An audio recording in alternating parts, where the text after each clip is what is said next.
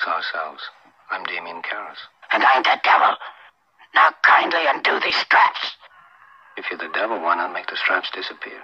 Do you believe in curses, in the supernatural, the eerie, the downright unnerving? We pull back the crimson curtain of Hollywood's glitz and glamour, we find ourselves tiptoeing into a world of chilling tales and unsolved mysteries. A realm where curses are not merely the stuff of silver screen fantasy, but an eerie reality.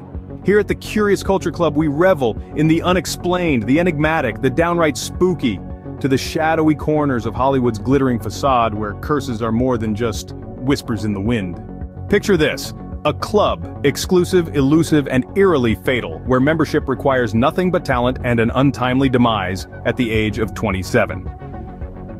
Welcome to the infamous 27 Club, a chilling roster of musicians, actors and artists who all share a startling commonality. Their age at death. Among the ranks are legends like the psychedelic virtuoso Jimi Hendrix, the powerhouse vocalist Janis Joplin and the grunge revolutionary Kurt Cobain. This isn't your average who's who of the entertainment world, it's a list that echoes with hum of coincidence, a symphony of talent extinguished in its prime. Each member of this club was not just gifted but a trailblazer, a game changer, a star a star that burned too brightly and too briefly. Yet they all met the same untimely end. At the tender age of 27. There are no applications, no invitations, and certainly no celebrations. Just a chilling alignment of and circumstance. Is it merely a morbid coincidence or an ominous pattern woven into the fabric of the entertainment industry? A mere coincidence or a sinister pattern? You decide. Imagine walking onto a movie set, only to feel the chill of unseen eyes watching your every move.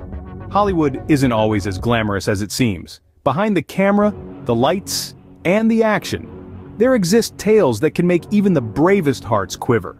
Today we're delving into the eerie world of haunted film sets featuring real stories from movies like The Amityville Horror, ghostly whispers, unexplained accidents, strange happenings. These aren't plot points from a horror script but actual experiences reported by cast and crew.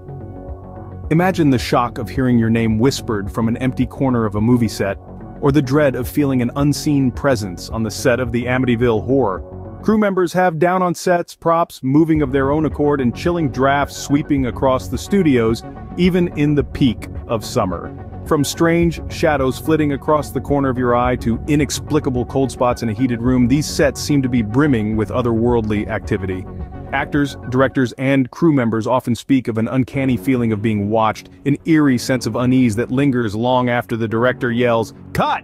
Could these be figments of the imagination amplified by the stress and strain associated with the cutthroat world of cinema? Or could it be something more? Could the set of the Amityville Horror be haunted by the spirits of yesteryear, unhappy with the intrusion into their space? Or perhaps these are the playful antics of ghostly pranksters, enjoying their time in the limelight. Are these sets haunted by unhappy spirits, or is it all just a play of shadows and nerves?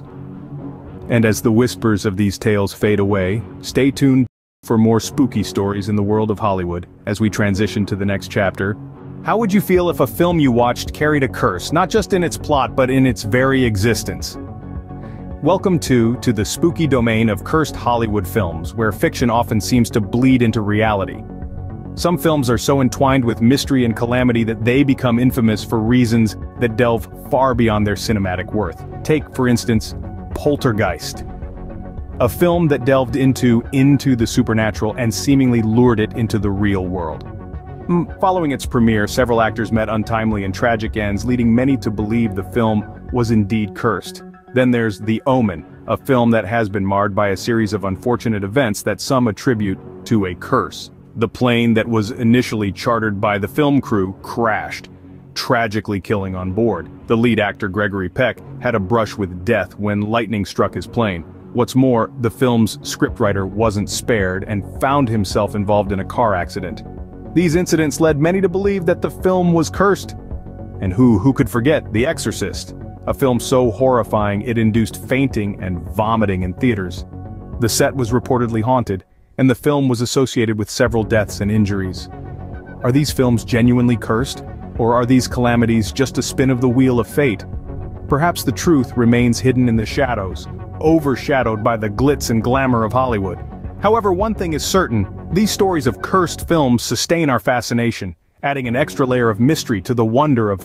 In the end, Hollywood remains a land of dreams and nightmares, where fact often blurs with fiction. We've traversed the eerie 27 Club, tiptoed through haunted sets, and delved into the cursed films of Tinseltown. Each tale more chilling than the last leaves us questioning the line between superstition and reality. These mysteries, these whispers of the uncanny, keep the allure of Hollywood alive, don't they? Do you believe these curses to be real? Please let us know in the comment section. Until next time, keep exploring with the Curious Culture Club.